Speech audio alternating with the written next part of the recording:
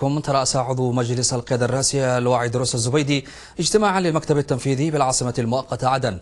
وأطلع اللواء الزبيدي الحاضرين في مستهل الاجتماع الذي حضره الأمين العام للمجلس المحلي بعدن بدر معاون على آخر التطورات المرتبطة بالعملية السياسية وخريطة الطريق المقدمة من المبعوث الأممي مجددا التأكيد على ضرورة وجود إطار تفاوضي خاص بقضية الجنوب في العملية السياسية. وتطرق الزبيدي في كلمته إلى ما تعيشه العاصمة المؤقتة عدن من أوضاع صعبة بسبب تردي الوضع الاقتصادي مشددا على ضرورة أن يضطلع الجميع بمسؤولياتهم ومهامهم المناطة بهم. والعمل بروح الفريق الواحد للنهوض بالوضع المعيشي للمواطنين كلا وفق الإمكانات المتاحة لديه. وأضاف الزبيدي نحن على إدراك تام بصعوبة الوضع خصوصا الجانب الاقتصادي.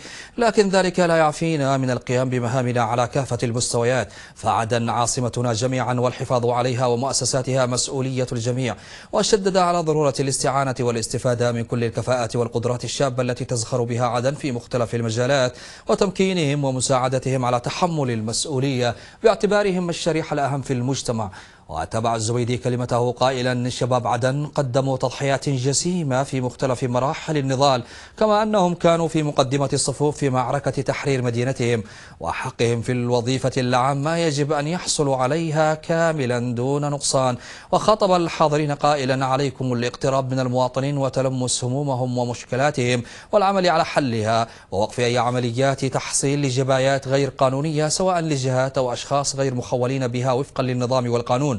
وأكد الزويدي في ختام كلمته على أهمية تنسيق العمل بين السلطات المحلية على مستوى المحافظة والمديريات بما يعود بالنفع على المواطنين والصالح العام للمدينة مشيرا إلى أن هذه الاجتماعات ستتم بصورة دورية للوقوف على ما تم إنجازه من مهام واطلع اللواء الزبيدي بعدها من وكلاء المحافظة ومديري المكاتب التنفيذية ومديري عموم المديريات على جملة من المشكلات والصعوبات التي تواجه سير عملهم بالإضافة إلى عدد من الآراء والمقترحات الكفيلة بحلها وتم اتخاذ ما يلزم بشأنها.